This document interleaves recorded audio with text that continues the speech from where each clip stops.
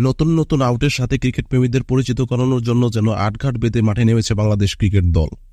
কিছুদিন আগে সাকিব আল হাসান টাইমটা আউট করে হইচই ফেলে দিয়েছিলেন ক্রিকেট বিশ্বে।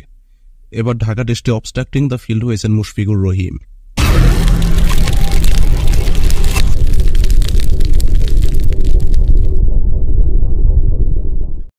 ঢাকা টেস্টে টসে জিতে ব্যাট করতে নামে বাংলাদেশ। দ্বিতীয় সেশনে একচল্লিশতম ওভারে কাইল জেমিসনের করা একটি বলে ব্যাট দিয়ে ঠেকান মুশফিক। তবে সেই বলটি স্ট্যাম্পে আঘাত করার কিছুটা সম্ভাবনা থাকায় সেটিকে হাত দিয়ে সরিয়ে দেন তিনি। সেখানেই বাদে বিপত্তি। ক্রিকেটের মাঠে এভাবে হাত দিয়ে বল সরানোর নিয়ম নেই। সর্বোচ্চ ব্যাট বা পা ব্যবহার করা যেতে পারে। আম্পায়ারের কাছে অবস্ট্রাক্টিং দ্য ফিল্ড আউটের আবেদন করে নিউজিল্যান্ড।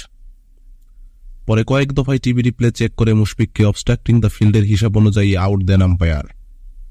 এখানে অনেকেই দ্বিধায় আছেন এটি হ্যান্ডেলিং দ্য বল আউট হবে কিনা।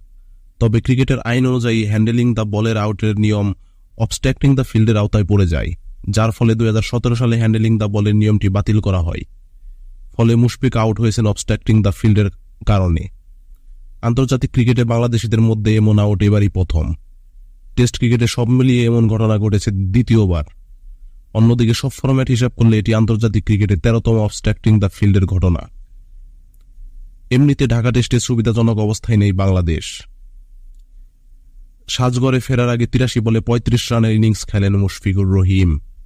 ক্রিকেটের নিত্য নতুন নিউজ ও আপডেট পেতে আমাদের চ্যানেলকে সাবস্ক্রাইব করে এখনই বেল বাটনটি বাজিয়ে দিন।